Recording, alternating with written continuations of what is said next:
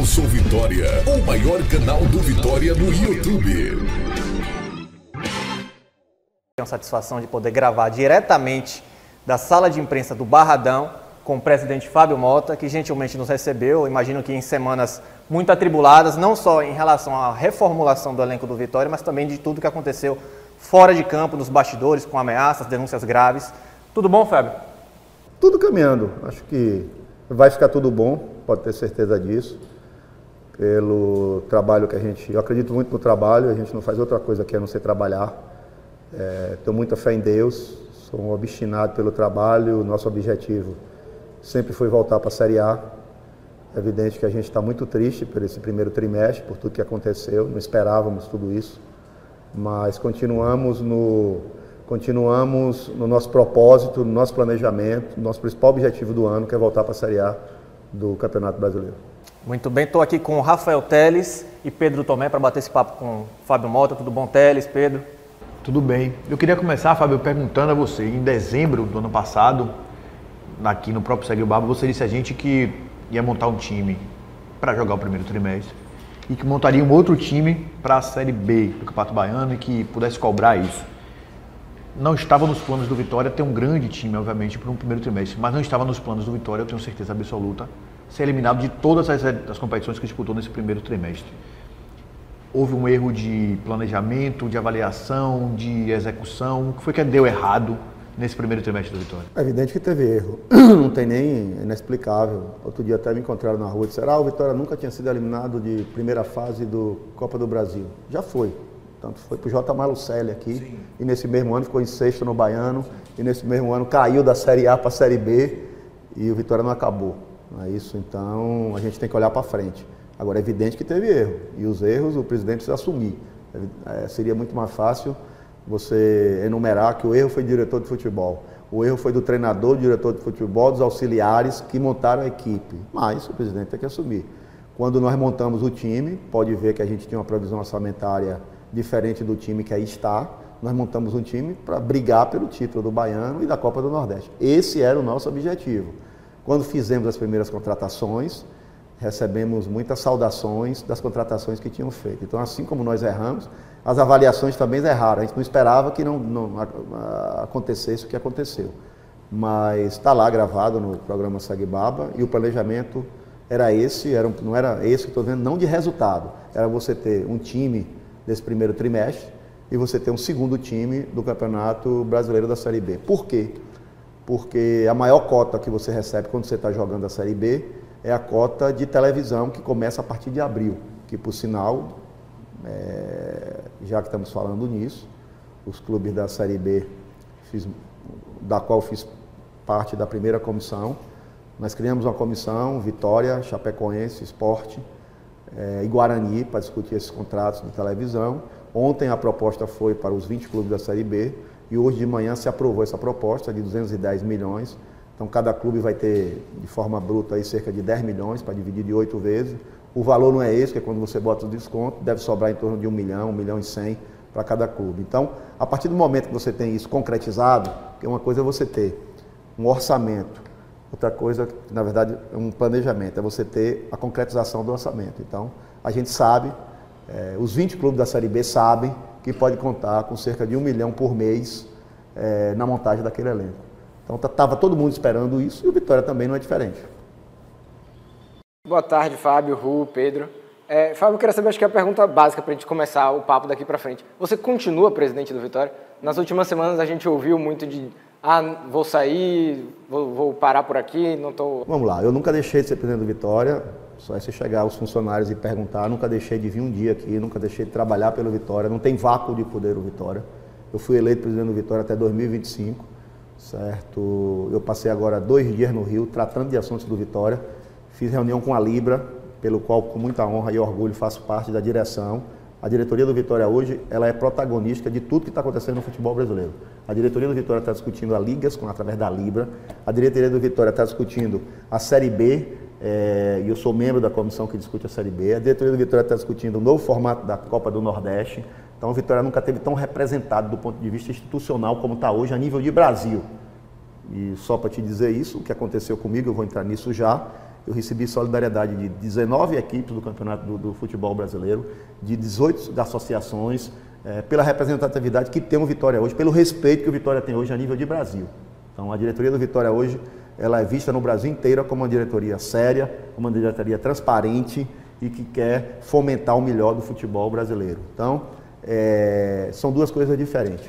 Estou explicando isso aqui é, para dizer o seguinte: eu passei e estou passando por um drama familiar. E quem tem família sabe o que eu estou dizendo aqui.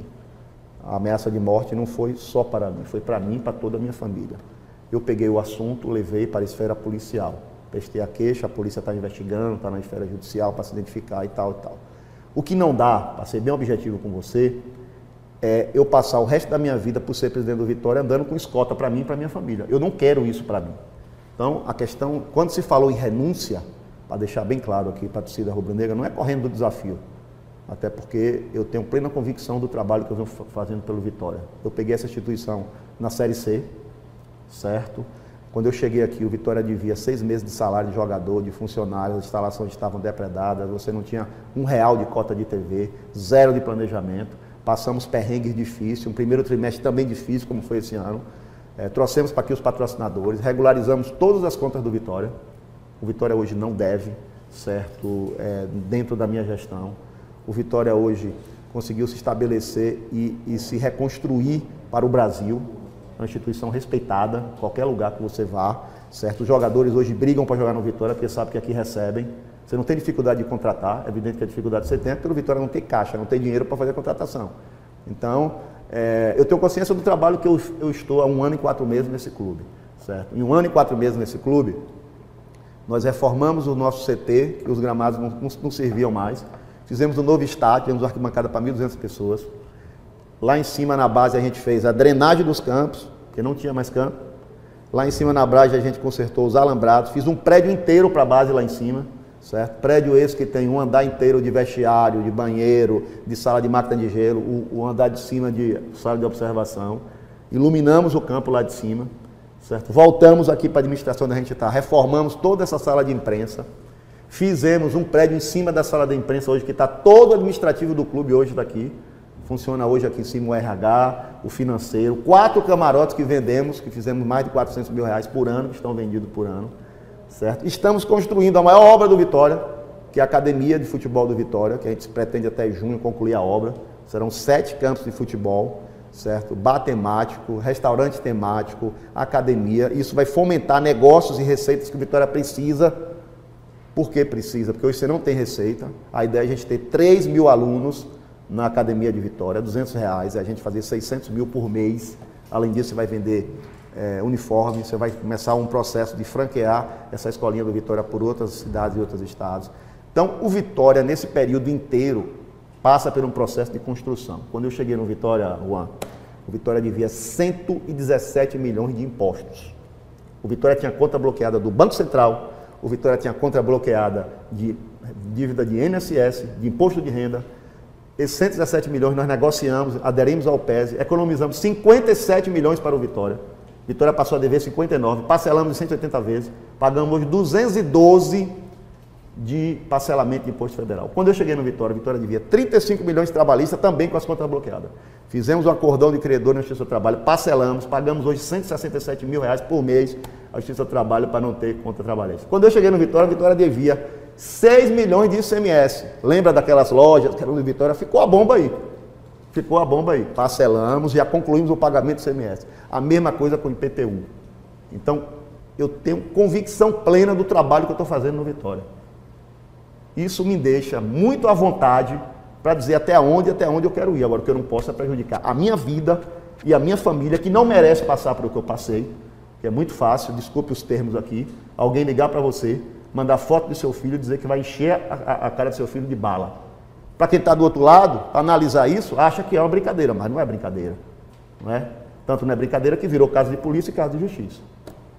Mas, mas hoje, 9 de março, Hoje, 9 de março, eu sou presidente do Vitória. Vitória não tem vácuo de poder, eu continuo presidente do Vitória. E vou aguardar o desdobramento dos acontecimentos que estão na esfera policial. E como é que está essa situação na polícia? A polícia lhe propôs ter, uma, ter uma, é, alguém fazendo a sua segurança particular? Como é que está essa situação? Não, aí eu, eu me reservo a dizer que isso é uma questão pessoal, a gente não quer falar muito sobre isso para não atrapalhar e a polícia está tomando conta disso. É, Fábio, você falou aí sobre muitos feitos que você teve nesses você citou 14 meses, eu contei aqui 18. Você entra é, é, como interino, na verdade, em outubro de 21, né? Você não contou outubro de 21. 10 de novembro. Ok, então 17 meses. É, 17. No final de 21. E no final de 21 ainda tem um rebaixamento também. Então você não pega Vitória na Série B, como você falou. Você, pega Vitória... você não pega Vitória na Série C, como você falou. Você recebe Vitória na Série B.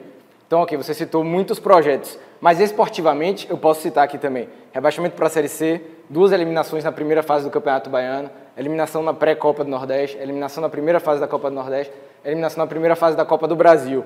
De positivo, um acesso para a Série B. É, você falou bastante do que você fez, eu queria que você explicasse para o torcedor também esse cenário esportivo, por que, o, dentro de campo o Vitória foi tão mal. Assumiu o Vitória em novembro, a quatro rodadas de cair, o Vitória já estava na zona de rebaixamento, passou o campeonato inteiro na zona de rebaixamento, eu precisava ganhar as quatro partidas. Então, para mim naquele momento era muito mais fácil dizer, não vou assumir não, todo mundo sabia que o Vitória ia cair. Então, eu não considero que eu assumi o Vitória na série, na série B. Já me entregaram Vitória na Série C. Naquele momento, o Vitória já era o antepenúltimo na Série C e faltavam quatro partidas. Já estava na Série C. Segundo, o, a desclassificação do Campeonato Baiano do ano passado é, não dá nem para discutir, porque você não podia nem escrever jogadores. E eu esqueci de falar outra coisa aqui. Do dia que eu assumi, nesses 17 meses até hoje, nós já pagamos 11 milhões e 700 de transfer ban. Se eu tivesse esse 11 milhões e 700 livre, eu não tinha o time que eu tenho hoje. Eu tinha um time bem melhor e muito mais qualificado. O problema do Vitória aqui é que você precisa trocar o pneu com o carro andando. Então você teve que pagar dívidas para poder escrever, buscar jogadores e resolver a questão do dia a dia. Eu podia dizer para você que o Vitória tinha anos que não ganhava o Campeonato Baiano Sub-17. Ganhamos. Podia dizer para você que o Vitória não tinha anos que não ganhava o Campeonato é, é, é, do Nordeste do Sub-20. Ganhamos. Eu podia dizer para você que eu assumi o Vitória que o, o vôlei, tá, o basquete estava desativado. Nós voltamos o basquete, ganhamos o Baiano, ganhamos o, o Nordeste de basquete e estamos disputando o Brasileiro. Eu podia dizer para você que eu encontrei o, o, futebol feminino do Vitória também desativado. Nós voltamos com o futebol feminino do Vitória. Trouxemos a, a, a equipe de, de futebol, de vôlei de praia, que disputou o Campeonato Nacional com transmissão do Esporte TV, da Globo, que dá isso mais ao Vitória. Então, o Vitória estava fora da Copa do Nordeste quando eu aqui cheguei. Eu trouxe o Vitória para a Copa do Nordeste. A campanha foi ruim, mas ele estava fora. Nós ganhamos do Cordino, ganhamos do, ganhamos do, do Jacuipense e voltamos para a Copa do Nordeste. Então, é, não é bem como você fala, respeito seu ponto de vista, mas eu tenho muito mais é, é, é, resultado esportivo positivo do que negativo. Tá claro, é só você olhar os números. E se você for olhar o número financeiro, a Série C não tinha cota, a Série B tem cota. Se você for o número financeiro, está na Copa do Nordeste, são 2 milhões que não teve ano passado. Tá? Uma discussão que é muito simples e eu debato aqui o dia todo e a noite toda para mostrar para você que os resultados do Vitória, do dia que eu entrei no Vitória até hoje, são muito mais positivos em todos os números. Resultado financeiro, resultado de endividamento, resultado esportivo, resultado patrimonial. Não precisa dizer. Os números aí estão. É, mas em relação ainda a essa, essa campanha de 2023, né? Você diagnosticou que há alguns problemas, na, na, reconheceu alguns problemas, mas o que, é que você diagnosticou que a equipe deveria ter feito e não conseguiu fazer nesse momento, que vai ser necessário corrigir para a Série B? Qual o perfil do elenco não funcionou? Não era o perfil que era, era ideal para esse momento? O que é que vai mudar Bom, de agora em diante? Essa é uma excelente pergunta. E quando você assume um clube, você tem que estar rodeado de pessoas que entendam de cada área. Você tem que ter um gestor financeiro, você tem que ter um gestor de marketing, você tem que ter um gestor de futebol. Não necessariamente o presidente do clube tem que ser o cara que entende de futebol. Ele tem que entender sim, mas ele tem que estar rodeado de todo mundo que entende. Como é que a gente montou esse elenco que aí está? Ok? A gente tinha acabado de subir para a Série C e renovamos com um treinador que subiu para a Série C. Renovamos com o treinador, renovamos com toda a comissão técnica que envolvia o diretor de futebol e os dois auxiliares. O treinador, os dois auxiliares e o pessoal da análise de desempenho, que são quatro pessoas, junto com mais o gerente de futebol e o presidente e a diretoria do clube, sentaram para montar o elenco do clube. Assim foi montado. O treinador indicava, a análise de desempenho dizia que estava ok e tal e tal, e o presidente pagava. Então, quando se montou esse elenco que aí está, se montou evidentemente não pensando nesses resultados. Ah, qual foi o grande erro? Será que o grande erro foi a gente ter renovado com o Bussi? Será que ninguém naquele momento tinha coragem de dizer que não renovava com o Bussi? Não, acho que é isso mesmo, acontece isso no futebol. E aí, eu não vou ficar aqui dando desculpa, mas você tem algumas coisas para analisar. O Vitória foi a equipe do Brasil que mais jogou, ok. O Vitória é, foi a equipe que hoje, se você pegar o time do último jogo, é, tem um jogador do campeonato do ano passado, desmontou e montou tudo, isso demora até da liga, até tal. Você tem 500 explicações, entendeu? Para dar para isso. Então, eu acho que teve erro. Se não tivesse erro, a gente não tinha gareado. Ninguém está discutindo que teve erro. O que é que tem que fazer agora? Teve erro, e aí? Vai todo mundo se suicidar, se matar? Não. O que tem que fazer agora é corrigir o erro. E nós vamos corrigir o erro. Agora a gente tem que corrigir o erro. Como é que você vai montar agora o elenco? Não tem outra alternativa para montar elenco. Eu tenho agora um novo treinador, que é o Léo Condé, que tem a comissão técnica que veio com ele, certo? Que identificou e que já me passou as, é, é, é, quais são os problemas do Vitória. Transição lenta, é, falta de intensidade, é, perfil de jogador dentro dessa linha, que já definiu as posições. Ó, oh, presidente, está claro, acho que a gente. E aí que debateu isso com, com o diretor, está claro que a gente precisa de lateral esquerdo, de zagueiro, de meio campo, de extremos. O que é que a gente está fazendo? Fechando com o diretor de futebol, acho que até a próxima semana a gente deve ter o diretor de futebol já aqui, e necessariamente começar a remontagem e as contratações para reforçar o elenco.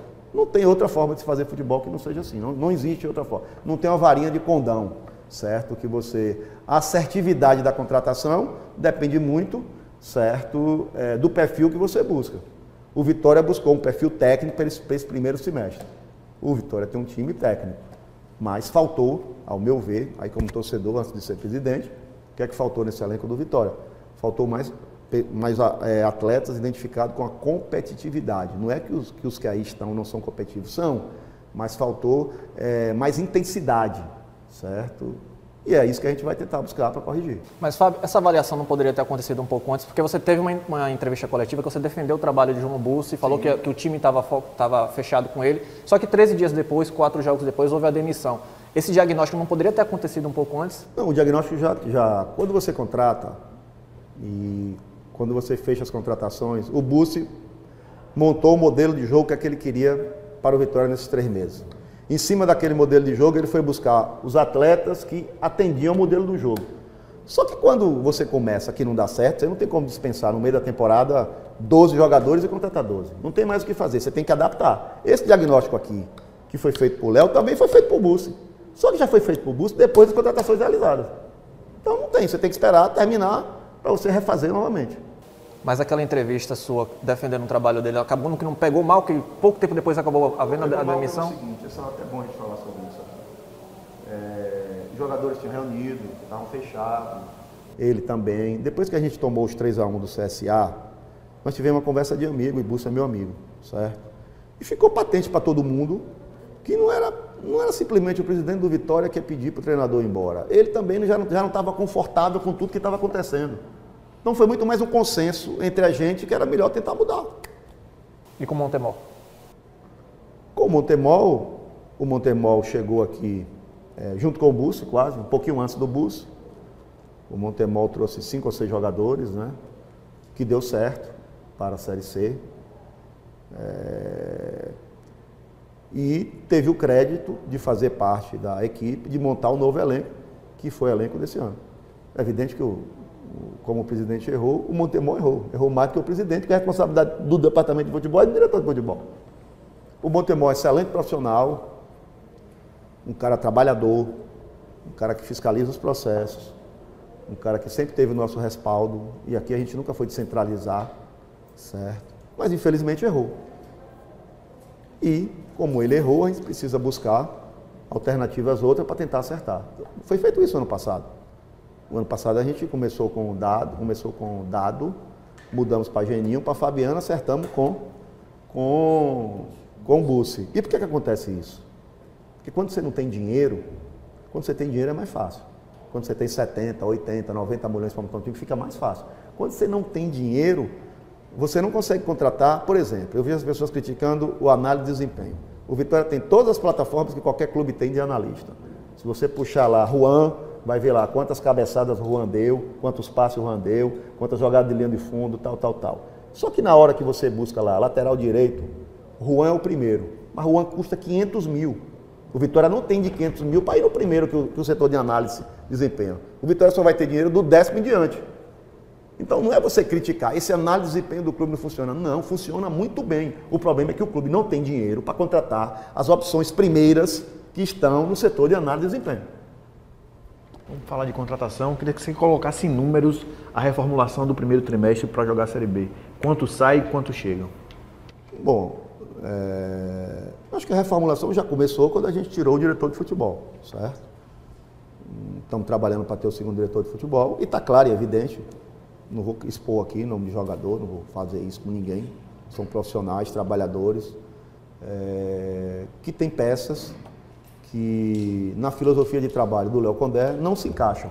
Por não se encaixarem, vão procurar outras equipes, certo? E a gente precisa reforçar tanto nessas posições como no outro. Então, nós estamos monitorando é, para trazer aí de seis a sete contratações.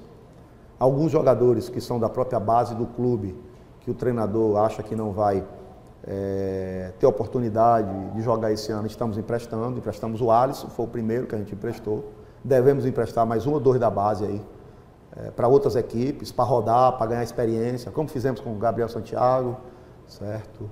É, e é, de, é, do elenco atual, acho que cinco ou seis jogadores que não são do Vitória, nós vamos ter conversa para tentar é, que eles é, sigam a vida deles em outros clubes. Isso aí, definição por, até quando? Você espera ter definido isso? Está definido isso, tá no tempo agora está definido e quem não vai, quem não vai mais jogar no Vitória já sabe. Já não vai jogar na próxima quarta, terça-feira? Pode até jogar terça ou quarta, mas já sabe que o Vitória tem um planejamento onde está chegando outros e saindo. Então tá, os jogadores do, do Vitória que, não, que o Vitória não tem interesse, os empresários já começaram a partir de hoje, certo? Nós já começamos a chamar os empresários para conversar com cada um pessoalmente, individualmente, para dizer que o Vitória está eh, é, passando por uma, uma reformulação, é, que o Vitória não conseguiu os objetivos definidos no primeiro trimestre e que, em função disso, tem necessidade de fazer essa regulação, de fazer mudanças. E dentro dessa mudança está a chegada de novos, saída de alguns que aqui estão e que está acontecendo. Então, é, todos estão sabendo de forma pessoalmente e comunicado de forma pessoalmente. Dunkley seria um deles? Não, eu não vou citar nome. Aí não vou citar nome, a gente está conversando, o departamento de futebol está conversando com cada um. É, você tem falado com bastante otimismo da Série B, mesmo depois de um primeiro semestre que, como você acabou de classificar agora, foi, foi um fracasso. Por que, que o torcedor deve embarcar nesse otimismo do Vitória? O primeiro trimestre do ano passado também foi um fracasso.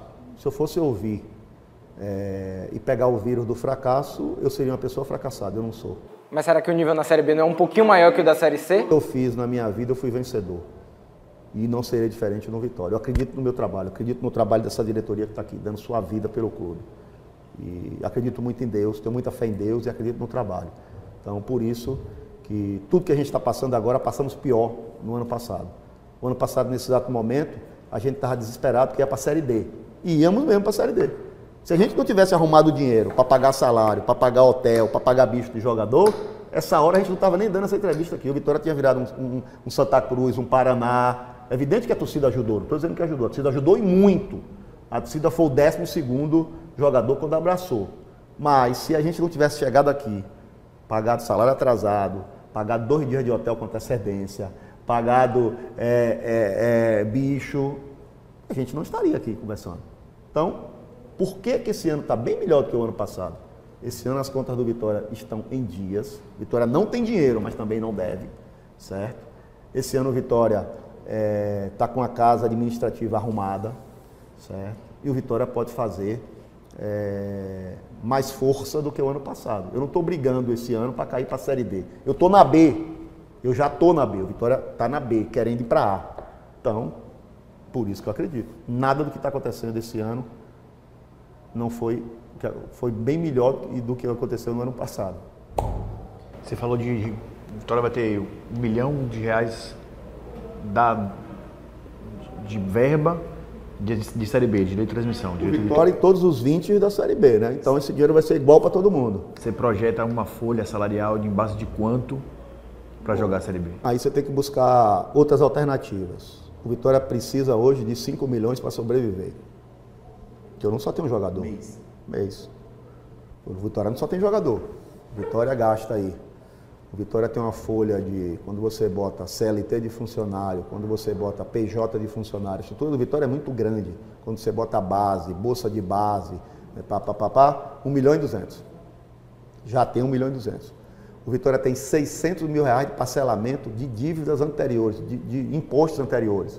Parcelamento de FGTS, de INSS, de imposto de renda atrasado, dá 600 mil. O Vitória tem um custeio do dia a dia. Nós temos aqui quase de 500 mil metros quadrados.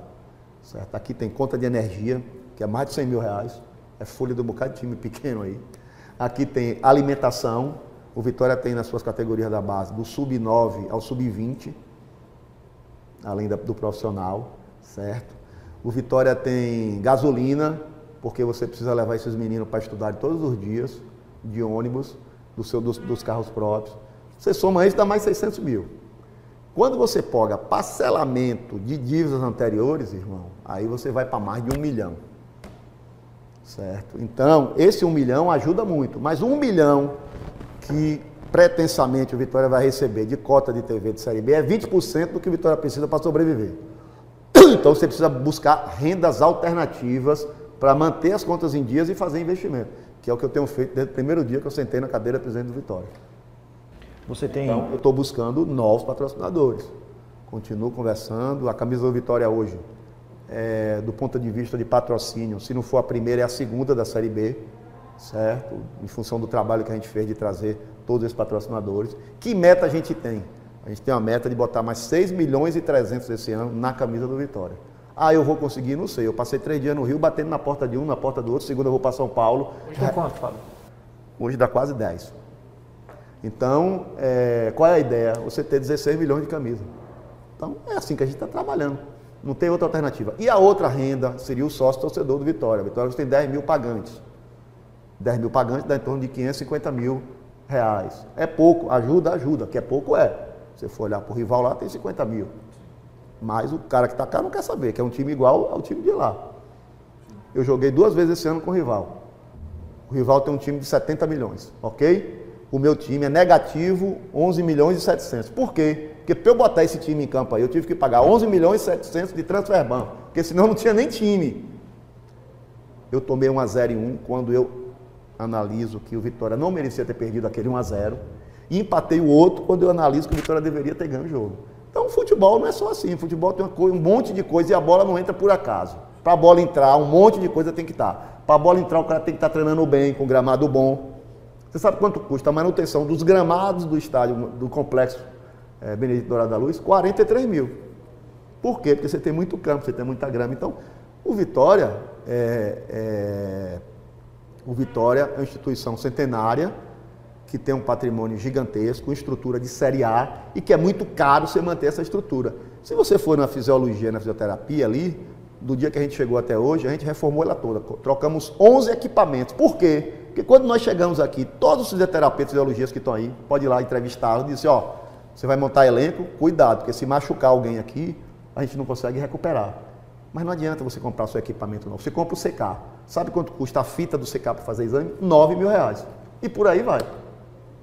Então, não é fácil. Não é fácil você ser presidente nas situações como está dizendo que, que nós encontramos.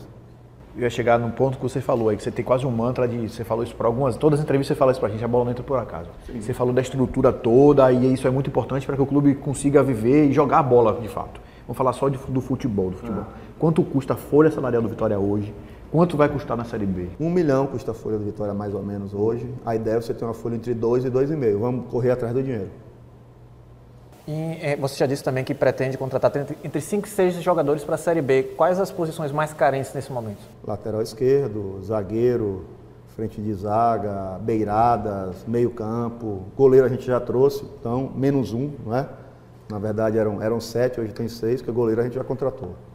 Na, na época que o, que o Montemol estava aqui, ele falou até de 8 a 15 contratações. Esse número também pode aumentar, depender da, de como a equipe esteja na Série B? Hoje, na verdade, não, não dá, porque a janela fecha em abril, né? Dia 2 de abril fechou a janela, você não contrata mais ninguém. Você vai entrar na segunda janela. Nesse primeiro momento é isso aí, de 6 a 7. É uma, uma, necessidade maior de ser mais assertivo nesse momento. Então. Sim, aí é que está, você ter assertividade. Para você ser mais assertivo, qual é a, a, a peça fundamental para você ser mais assertivo? Você ter a grana. Por quê? Porque na hora que eu analiso desempenho, aquilo que eu falei antes aqui, analisar, ele analisa e tem lá de 1 a 10. O ideal é você contratar o 2, o 3, o 4, aí vai de acordo com a grana que você tem. Então, esse é o problema da, da assertividade na contratação de jogadores. Diante da situação, Vitória está olhando para qual mercado? É Campeonato Paulista, Campeonato Carioca, clubes que estão nesse, nesses cenários? O Vitória está hoje olhando muito o Campeonato Paulista. Carioca também, mas muito o Campeonato Paulista, que é um outro problema. Você tem que esperar acabar os campeonatos, que não acabaram ainda. Então, pronto. E em relação, Fábio, ao, ao ao trabalho do Léo Condé, porque a gente viu que o Vitória no ano passado mudou de treinador quatro vezes. Né? O Léo Condé começou com sete jogos sem vencer, venceu o primeiro jogo na, na última quarta-feira contra o Ceará. Como é que você analisa o trabalho dele, esse início de trabalho? Porque não houve, diferente de aconteceu algumas vezes, a mudança de resultados na troca do treinador, com a chegada do Léo Condé. Como é que você avalia essa, esse início de trabalho dele no Vitória? O Léo Condé, quando nós contratamos o Léo Condé, o Léo Condé trabalhou muito tempo em categorias de base, do Cruzeiro, do Atlético, do América, e depois que tornou é, treinador, é, treinou cinco ou seis anos a Série B. É um treinador que conhece o perfil de Série B, que o ano passado foi quinto colocado com o Sampaio Corrêa, um time, é, do ponto de vista de papel, muito mais barato do que o time do Vitória de hoje. Então, nós buscamos o perfil de um treinador que conheça a Série B, é, que trabalhe com base, que a gente tem uma base forte, que vai ajudar também dentro disso. E trouxemos o Léo Condé. O Léo Condé, quando chegou aqui, achou um elenco que não foi ele que montou. E quase que não teve tempo de treinar, porque teve jogo de lá para cá todo domingo e quarto, domingo e quarto. Essa semana é a primeira semana que a gente vai ter 15 dias para treinar. Então, acho que a gente tem que dar crédito ao Léo Condé. Ele vai ter uma pré-temporada de 25 dias para treinar e a comissão técnica dele está diagnosticado por todo mundo, não precisa ser entendido de futebol que um dos maiores problemas do Vitória é, é a preparação física. Isso está claro. Não precisa ninguém dizer aqui. Se você analisar os gols que o Vitória tomou nesse primeiro trimestre, 70% dos gols foi depois de 20 minutos do segundo tempo. Então isso está claro.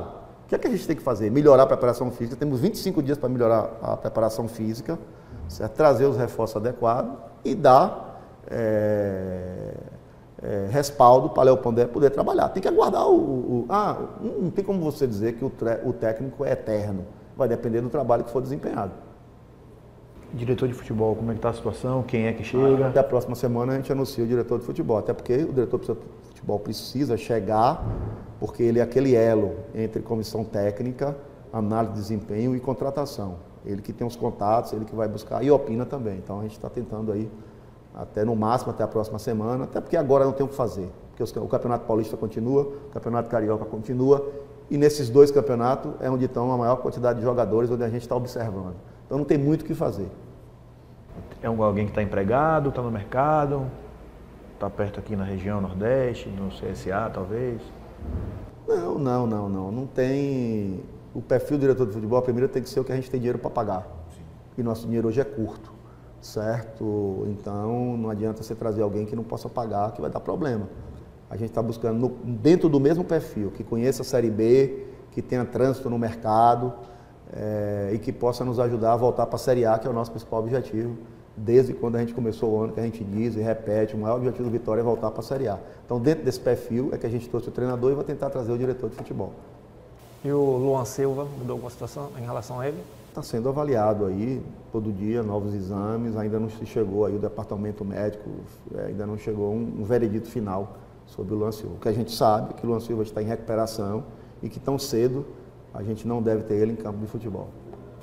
Pronto, a gente vai encerrando aqui esta edição do Segue o Baba. Então, o torcedor do Vitória pode contar com o Fábio Mota conduzindo o projeto ao, ao longo da Série B tranquilamente? Fábio Mota segue no comando do clube. Eu estou presidente do Vitória. Nem eu, nem você, nem Pedro é, ninguém aqui pode prever o futuro de 24 horas, imagine de três anos. Aí só Deus, o ser supremo, é que pode dizer para a gente o que é que vai acontecer. Eu não tenho esse condão, Espero que Deus me dê vida saúde, me proteja e proteja todos nós para que a gente possa ver o Vitória voltar para a Série A. E para encerrar, a última mensagem que você deixa para o torcedor rubro-negro que ficou um pouco preocupado com esse início de temporada. Bom, primeiro, pedir é, desculpas, fazer minha culpa. Eu tenho que assumir, eu sou presidente do clube. Quando nós fizemos as contratações, elas foram festejadas por mim pela torcida também. Infelizmente não deu liga, não deu certo. Agora é a gente virar a chave, é, corrigir o rumo e partir para o nosso principal objetivo, que é a volta para a Série A, que sempre foi desde o início. Então é isso aí, acreditar no projeto de volta para a Série A, se associar, ajudar o clube. O clube continua vivendo um momento difícil financeiro, muito difícil mesmo, certo? E que precisa de ajuda de todos. Beleza, Fábio. Teles, Pedro, muito obrigado. Até a próxima, meus amigos. Valeu. Não é inscrito? Então o que você está esperando? Inscreva-se em nosso canal agora mesmo e deixe o seu like para esse vídeo. Canal Sou Vitória, o maior canal do Vitória no YouTube.